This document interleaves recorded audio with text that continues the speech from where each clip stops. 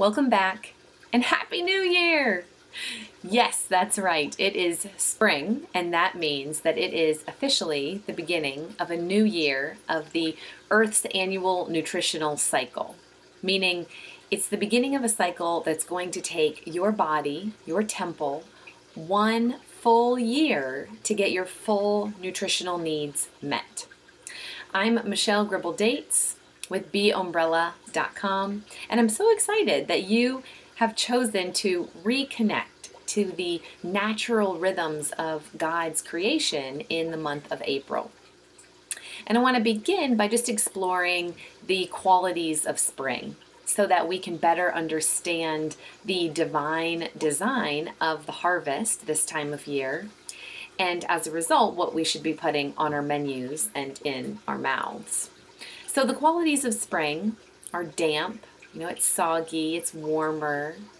It's a time when the seeds that have been underground through the winter sprout and offer us a powerful boost of nutrients.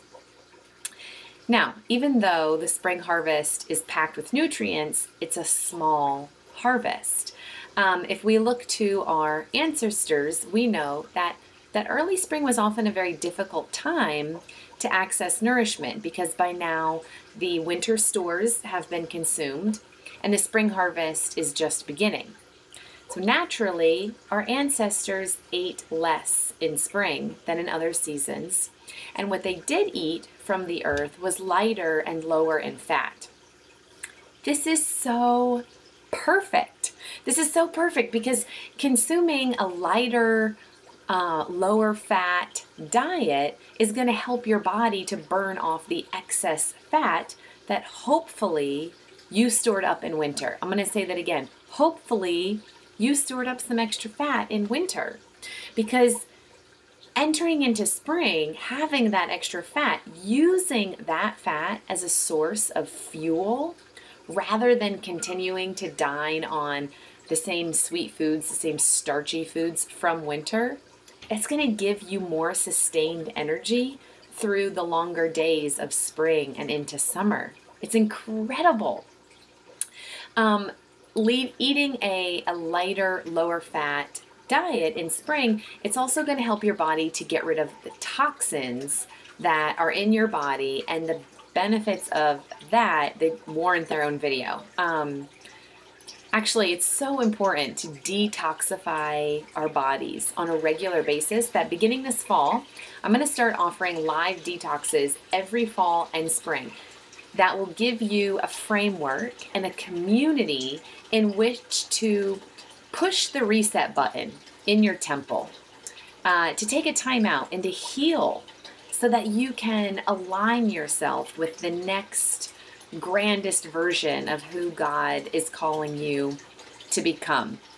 Okay, it's not they're not going to be detoxes of scarcity, they're going to be nourishing. Now, um, for now though, let's let's reconnect to the natural cycles occurring in April. As I mentioned a minute ago, this is the time of year that our earth is holding on to water. She's swelling and she's supporting new life. And a similar process is happening in most people's bodies. Um, it's just that the the extra sogginess in your body, it's producing mucus. It's producing snot. rather than sprouts and colorful flowers and fresh green leaves. But along with the snot is a new energy. And for most of us, this new energy translates into spring cleaning. You know, we clean our homes and our windows and our baseboards and our bathrooms, we clean our cars, and yet for most of us, we totally look past our most immediate surrounding. The home that is closest to us, the home that is our very own flesh and blood body. After winter, spring is indeed the perfect time of year to clean house. And in addition to the closets and the kitchen cupboards, that means our bodies. You know, the microbes in our bodies in winter were important for keeping the body warm. And now that we're in spring, our microbes, they have a different purpose. They are meant to burn fat so that you can enjoy more stamina and a more stable mind in the year to come. I also want to shine a light on the fact that as Christians, we're in the season of Lent, you know, with its focus on praying and almsgiving and fasting. Lent is about prayer, giving, and fasting. It's so it's so cool to me that God created the spring season to be a natural time of fasting and that fasting for Lent, eating less in spring is part of our Christian tradition. Now, um, if you pay attention to your body, you will notice that you're not as hungry in spring.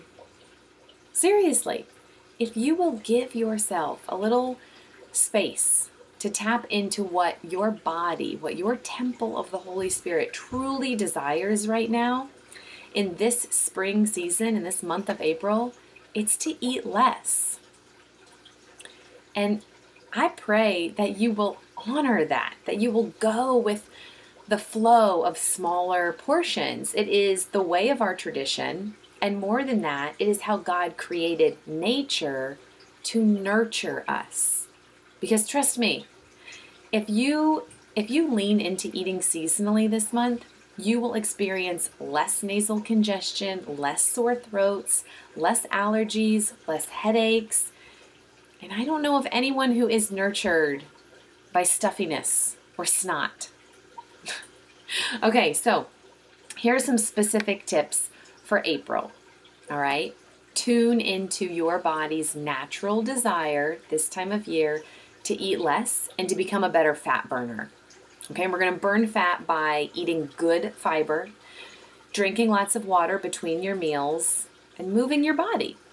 Okay, so this time of year, you want to be consuming foods that are lighter and drier to counteract those qualities of spring that we mentioned earlier the heaviness, the wetness, the sogginess of spring. And these are going to be foods that taste pungent and bitter and astringent. Um, these are foods that are going to clean out your intestinal tract. They are going to literally scrub out fat. Okay? Specifically, these are foods like sprouts, alfalfa sprouts, uh, Brussels sprouts, bean sprouts, whatever sprouts. Foods like asparagus, bitter melon, cabbage, carrots, cauliflower, and leafy greens, leafy greens, leafy greens, collard greens, kale, lettuce, mustard greens, spinach, um, Swiss chard, parsley, okay? I've been making smoothies every morning um, lately for my family and my two kids, who are two and nine, who would never pass up a donut, who would never pass up um, a slice of pie. They're loving them. And today, I loaded it with beet greens and dandelion greens. You know, dandelion, it offers a ton of antioxidant support. It helps to, to detox the liver it's terrific for decongesting the body. Um, and, and for kids, you know, making snot is like what they do. It's like their job is making snot. So they're getting a lot of foods like dandelion greens right now that decongest the body. Again, the theme of spring is burning fat, and so that is um, that means it's not the time of year for dairy or for meat. That is not what nature is providing right now and therefore it's not going to allow you to live better in your body. Heavy, fatty meat and dairy in spring, it's going to compromise your immune system. It is the time, though, for legumes, especially sprouted beans, uh, kidney beans, lentils, mung beans, and also for raw honey. Okay, these are all going to help with decongestion and, and you know taking care of those allergies. Some super awesome spices for this month are going to be black pepper, cayenne pepper, clove, uh, cardamom, and ginger, and cinnamon, and turmeric. Okay? If you start spring off by scrubbing your intestinal tract, by eating bitter roots, and then you rebuild the microbiology with with microgreens and then you flush the lymph later on in spring with berries and cherries You're going to set up your digestive system and your immune system to thrive the rest of the year. Um, know that eating and drinking this way is going to help you to reduce snacking. It's going to reduce your cravings so that you can burn fat. You're going to notice an increase in sustained energy. You are going to be in a better mood, and all because you are taking what nature is giving you. It's the way God designed nature, and that includes you, and that includes me. It's incredible. Uh, I'd also encourage you to be drinking a lot of warm water between your between your meals, or at least room temperature water. This is going to help your body to to burn fat in a big big way. Um, and of course, move your body. Go for a 20 minute walk every day. Close your office door, put on some music, dance for five minutes after you've been sitting at your desk for an hour. Um, play catch with a kid in your life who is playing baseball this spring. You know, go to a beginner yoga class, whatever it is um, that is going to get you to move your body to flush out more fat this month, do it. And then one final note, and that is um, that depending upon where you live, spring may come in March or it may not really come until May. Regardless, um, spring's arrival, you know, it can be kind of wonky with a week of like a week of warm, wet spring weather and then a week of colder, drier, more wintry weather. During this transition time, eat foods appropriate for winter on colder days, like soups and stews and root veggies.